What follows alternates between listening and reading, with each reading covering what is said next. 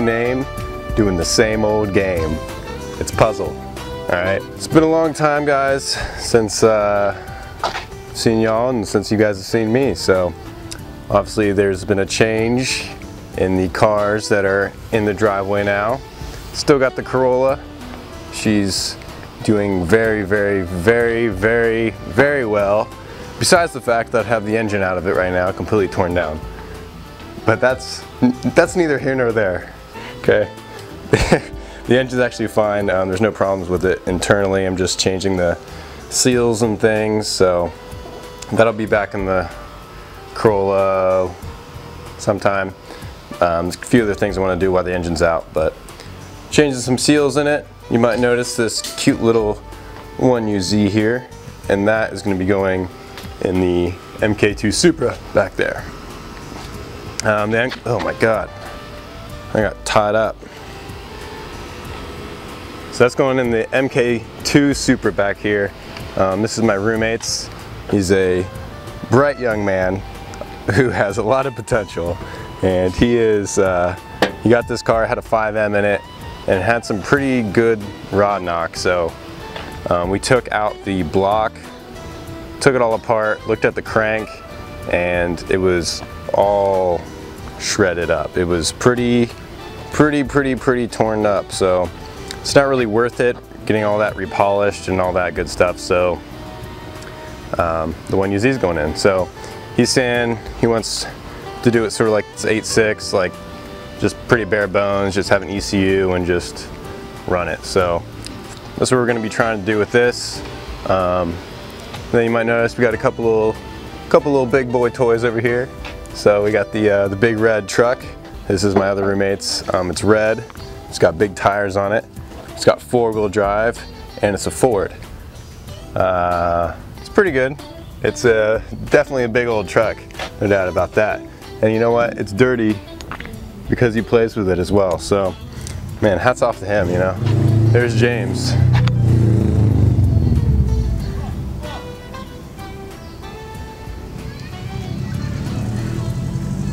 James bought my old Subaru and he's very excited. This is my truck. It's a 1992 Dodge D350. It's got six wheels on it instead of four and it's got some lights on top and I really really like it. It's got a 12 valve Cummins. I'm very very excited to drive this thing. Have had no problems with it other than the rear end which I put in new diff fluid and it's fine so it's pretty good. I'm gonna go say hi to James then I'll be back. Okay. I'm back. Back with you guys. It's just you and me now. Are you scared? So, I think today we're going to be working on the 4AGE. We're to be putting it back together. You guys are to be stuck with me all day. Um, I'll probably just set up the camera on a tripod, put this old thing back together, and um, you guys can just watch me. Aren't you going to love it? All right, here we are. Got the old 4AGE torn down, pretty much all the way down to the block besides the crank, but I'm not gonna touch that because I'm not gonna touch that.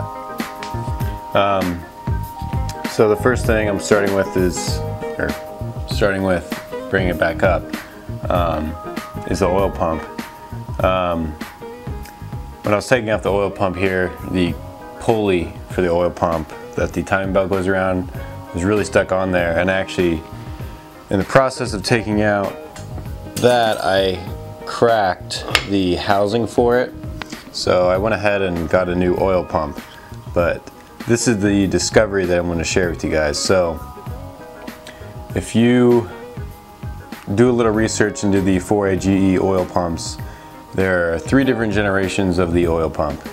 You have the one for the 16 valve that had the square teeth on the oil pump um, you have the silver top, which had this wave pattern, which is a little bit, was more efficient than the 16 valve square teeth. And then you have the black top, which had the same waveform as the silver top.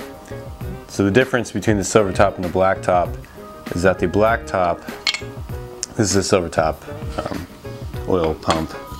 So the black top gear here, this inside gear, it's a little bit thinner than this um, silver top one. So the one that's most sought after when you're upgrading or changing out your oil pump is to go for the silver top because it flows the most oil.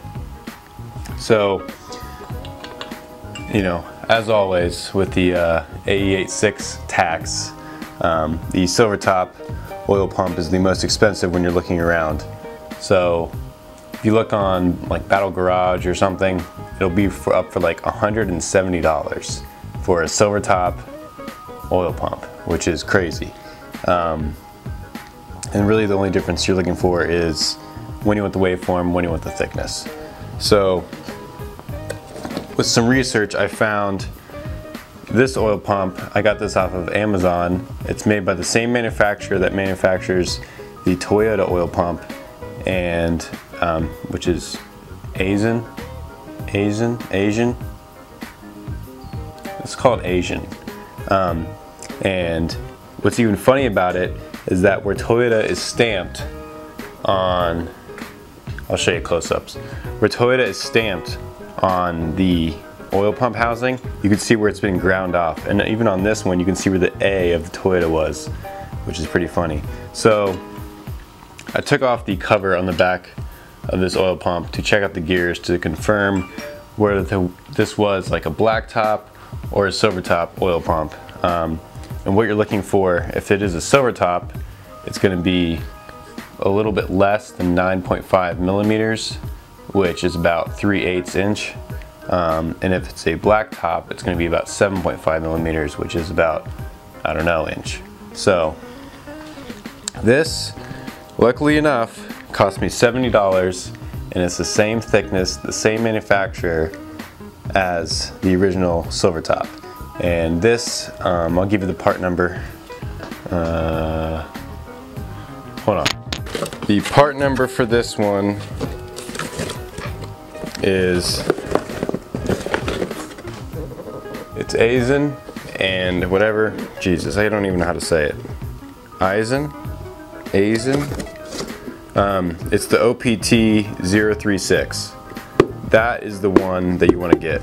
Um, it is, when you look it up, it says it's for a 16 valve 4AGE or the AFE, I think is what it said. I don't know.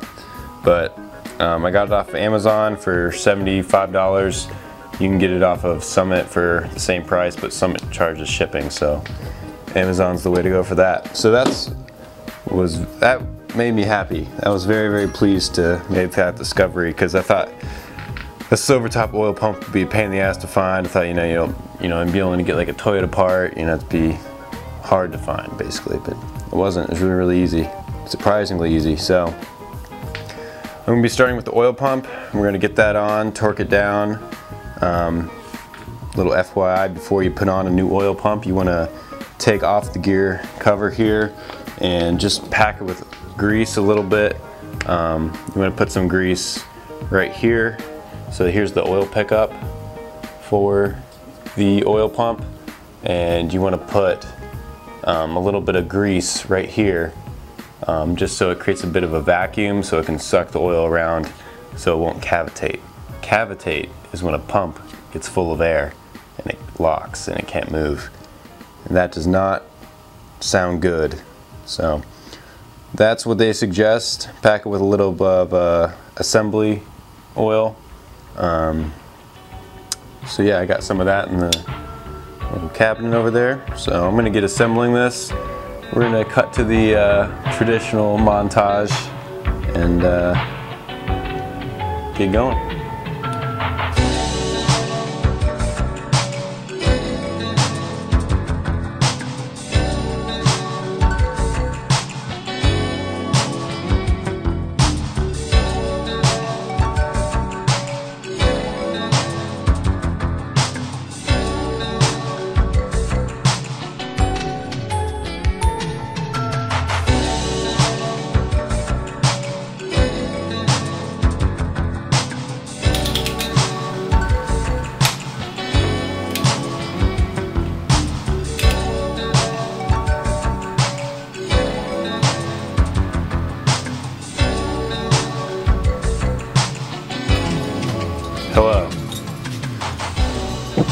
Now we got the, uh,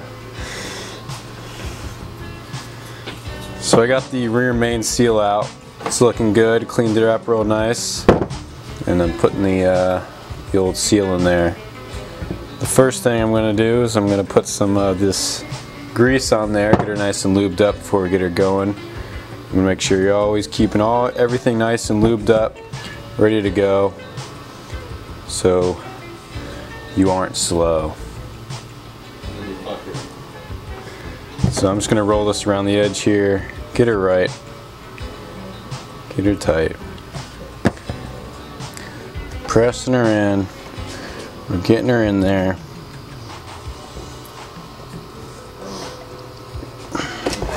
Use this handle, this hammer here, knock some things over. I'm just gonna walk it around here, get her right, and get her tight, guys. That's feeling pretty good. All right, I'm happy with that. Now we're gonna put it back on the engine block. I have an assistant now. So the service isn't happy enough yet. it's happy, but not that happy. All right.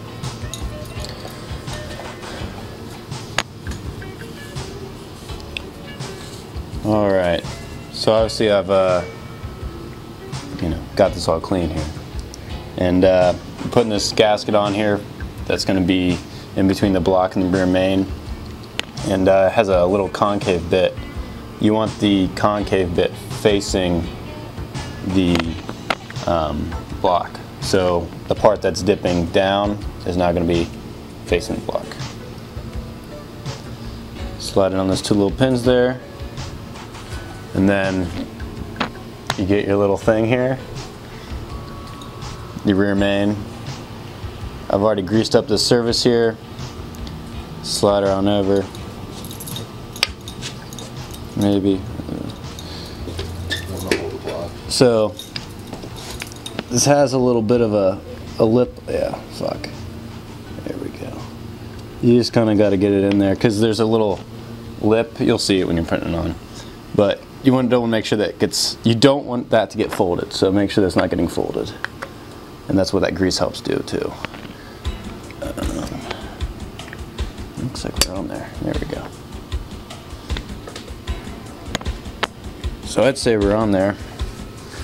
And we'll start putting back on our bolts. And then we'll put the oil baffle plate on, put the sump on, get the oil pan on, flip it over. We're gonna have an engine going here.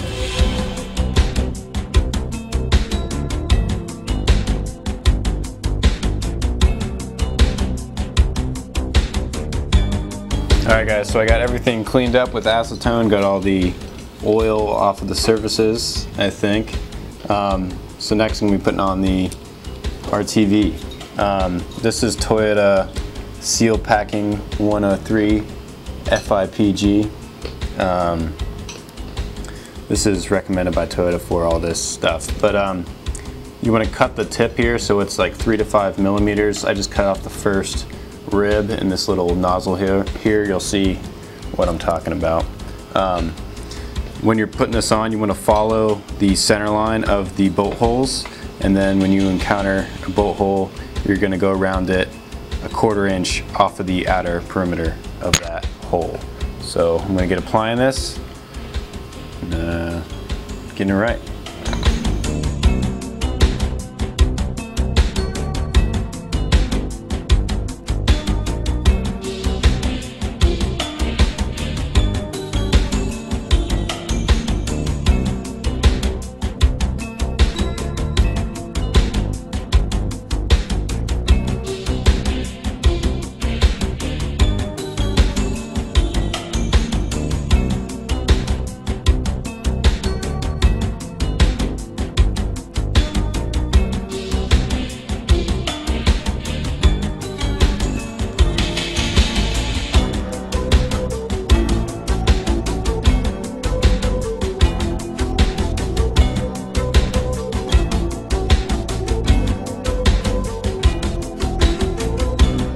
It's always nerve-wracking whenever you uh, look at the bottom end of your engine and have to do things to it. But I think everything's buttoned up the way it should be. I'm pretty happy with it. Um, had to kind of rush through filming the last bit just because I had to, you know, make quick work with the sealant and all. But that's how you do the bottom end of a 4AGE. Um, it's not really applicable to you if you don't have a 4AGE, but uh, I'm just glad to be making videos again. Hope you guys enjoyed the video. Next video I'm going to be doing the top end, you know, the water pump, everything that's not this. So that'll be the next video. Um, and then I want to do some more videos. I want to do driving videos. You know, enough working in the garage. Time to get out there. Time to get racing. Okay, but that'll be coming up soon. So I'm gonna let this dry tonight. Give it some time before we uh, do anything else to it. Flip her over and uh, start working on that stuff. So I'll see you guys in the next one. You already know who it is. It's your boy coming at you live from Puzzle headquarters. Finger ASMR. See you guys next time. Peace out.